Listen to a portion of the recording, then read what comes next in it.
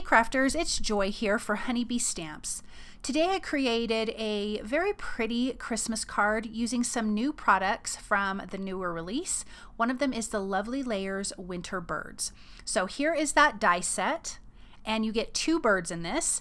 I'm also using the Lovely Layers Winter Greenery, the Let Nature Sing stamp and coordinating die.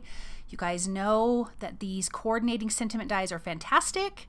And then I'm using the 3D embossing folder Kaleidoscope, and this is gonna give us some fun texture to the background. So let's start with that. I have die cut a circle using the Sweet Stacks circles. I die cut this from Neenah Classic Crest Solar White cardstock. I'm using some salvaged patina for the center that I'm going to do a little bit of ink blending on. This is also a new like watercolor mat from Honey Bee Stamps and so I'm using that and my paper is just sticking right to it. It's really really nice. It's not sliding around.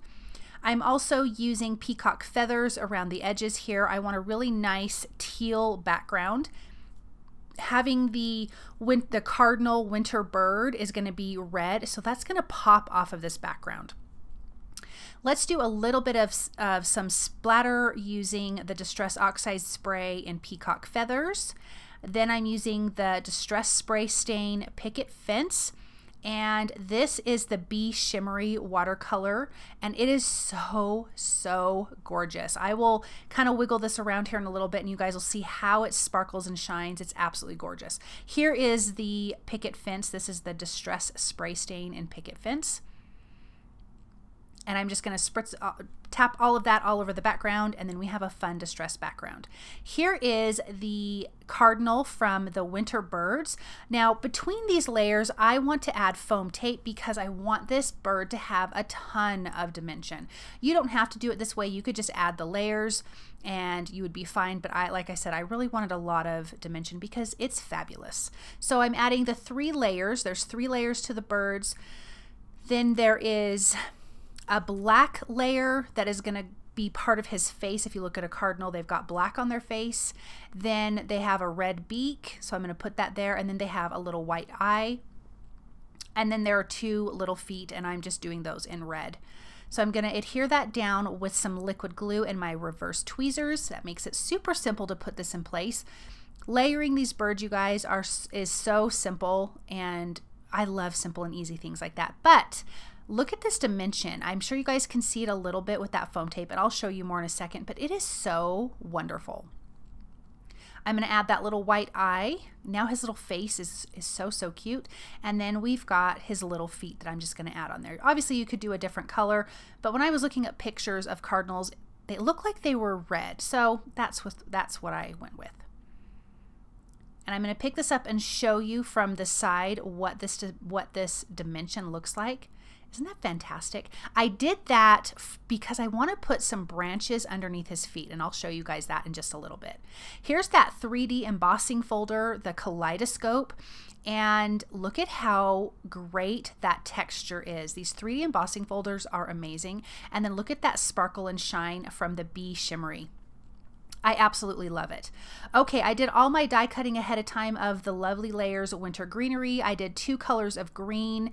Then you have a brown for some of the twigs that the bird's going to be sitting on and then we have some red berries so I am just I laid everything out ahead of time I like to do that so I can see exactly what it's going to look like and um, instead of just gluing it down right away because I always end up changing it around I die cut two of these little twigs here and I want to adhere them together to make one larger twig. So that's what I'm doing here with a little bit of liquid glue.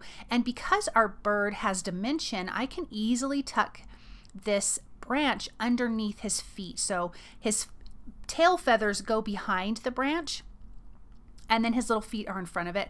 I just love that 3D look. So that's what I did with that and I'm gonna let that dry. I want to put him in place and kind of see where he needs to be. I don't want to cover up this whole uh, turquoise and textured background. So I'm going to offset the cardinal just a little bit so we can still get a lot of that background. Now I want to adhere the berries. I'm just adding some liquid glue. I'm just using a crystal katana to pick that up and put them in place. I die cut the berries twice so I could have a ton of them. I really liked the pops of red and having the berries on the one side and the bird on the other kind of evened it out visually in the design. Now I die cut a larger circle from the Sweet Stacks circles. It's just one larger from Gold Mirror cardstock to give it a nice little frame. And then I'm using some patterned paper from the freebie. Like when the release came out, you could get a little freebie of the pack of this uh, A2 size patterned paper. I'm going to use that for the background. I also decided to splatter more of the uh, picket fence and peacock feathers. No, excuse me. I just did the picket fence and the bee shimmery on the background, include with the bird and all of the greenery. I just wanted to bring that forward, and I'm so glad I did because it turned out so super pretty. But obviously, if you don't want that, you could just leave that part out, and it would still look absolutely gorgeous. So I'm just going to finish splattering that. And then I want to stamp the sentiment from the Let Nature Sing. And it says, Let Heaven and Nature Sing. I'm stamping that in black ink on white cardstock. And then, of course, I'm going to use the coordinating die to die cut that out because you know honey bee stamps has these and they're so fabulous i think it just makes having sentiments so much easier i'm going to tape that in place with some low tack tape and then run that through the die cut machine then I want to add some foam tape behind this circle. There's that piece of patterned paper that I was talking about. It has some like grayish leaves and then it has these gold snowflakes which I really really loved. I loved that gold so that's why I decided to add the gold frame around that center circle. I'm just going to pop that into the center. I will add some foam tape behind my sentiment of course and then we can place that at the top of the circle in the center. But I just think this card turned out so lovely. I really love that red against that turquoise. I know I said that before, but I think it's so striking and so pretty. So let's put that in place and then we can take a look at this card up close. Look at how pretty this is. I love all of the splatter effect and of course those dies are just amazing. Thank you guys so very much for stopping by and watching. I hope that you feel inspired by this card, and I hope that you have a really wonderful day. Bye.